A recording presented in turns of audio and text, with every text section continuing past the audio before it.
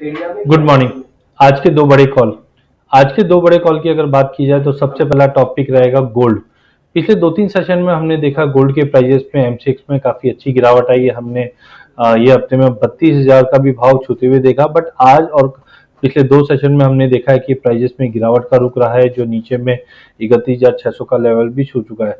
But internationally देखा जाए तो जब से मार्केट 1240 डॉलर के ऊपर कंटिन्यू मेंटेन है, हमें लगता है आउटलुक पॉजिटिव है, जो ऊपर में बारह डॉलर तक का लेवल दिखा सकता है। उसी के तहत हमें लगता है इकतीस सौ इकतीस का जो रेंज है, वो काफ़ी अच्छा रेंज है। यहाँ पे गोल्ड को लेके चलना चाहिए। इकतीस का स्टॉप लॉस रहेगा। ऊपर में करीबन बत्तीस हज़ार तक का लेवल गोल्ड में देखने मिल जाएगा।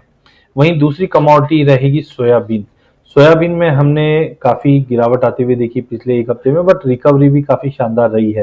तैतीस का लेवल बिल्कुल मार्केट होल्ड करके चल रहा है इस वक्त। हमें लगता है आने वाले दिनों में या आज के सेशन की भी अगर बात करें तो एक अच्छा खासा जम देखने मिल सकता है। आज के लिए तैतीस अस्सी पे बाय करके चलिए सोयाबीन को। तैतीस पचास का स्टॉप लॉस रहेगा। चौंतीस का टारगेट सोयाबीन में देखने मिल जाएगा।